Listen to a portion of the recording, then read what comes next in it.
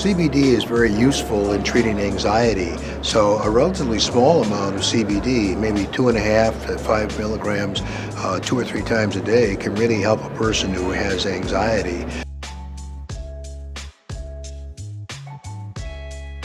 I was a little bit concerned about using it just because it was uh, it was fairly new to me, uh, but it really does uh, help me through my daily life. It's just like one of those things that I take like a vitamin, and um, it just balances me out.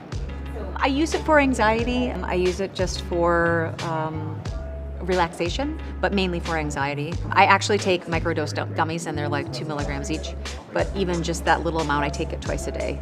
And I didn't think I could really get that much out of two milligrams a day, but it's one of those things that when you do something regularly um, in small doses, you definitely feel the positive effects. It definitely makes me feel more relaxed during the day, um, but focused, right? It's, a, it's more of an alert focus, and it lets me just be more productive in general.